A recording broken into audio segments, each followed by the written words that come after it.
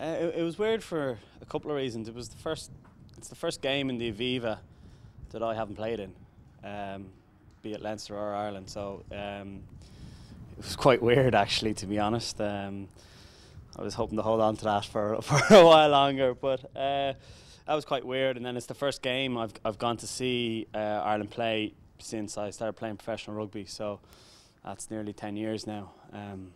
So it's strange on both sides, uh, but it was enjoyable. It, it was great. Um, you know, it was great to support the lads. We, we put a big emphasis on the squad, and um, you know, it, but, but yeah, it was it was strange. It was really really enjoyable. Uh, Conor Murray brought a little pack out of of uh, jelly sweets for us, so we were all set there in the stand.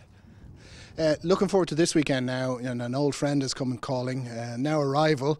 Uh, what does Michael Cheika's knowledge of the Leinster and Irish rugby setup mean for this weekend?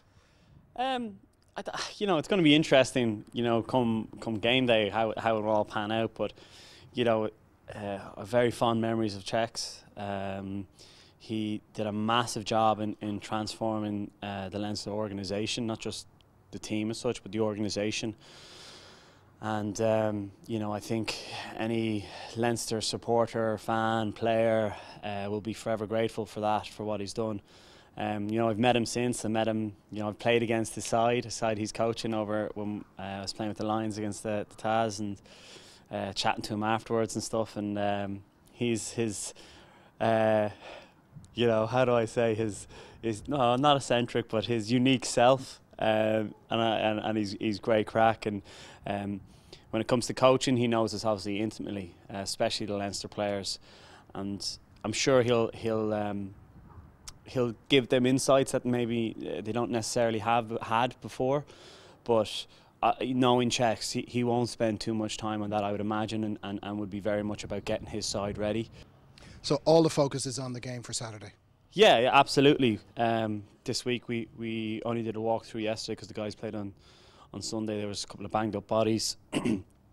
um, so we, the focus though completely has all been about uh, Australia. You know, we, we did them in our in our prep week where there was no game. We spent uh, you know two days on them and, and a couple of days on on uh, South Africa because of the lead time we knew we were going to have coming into this game.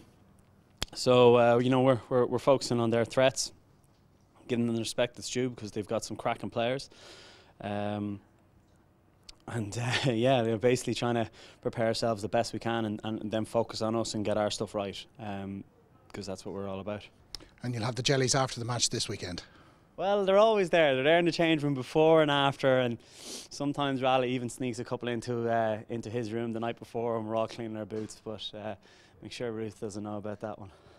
Thank you.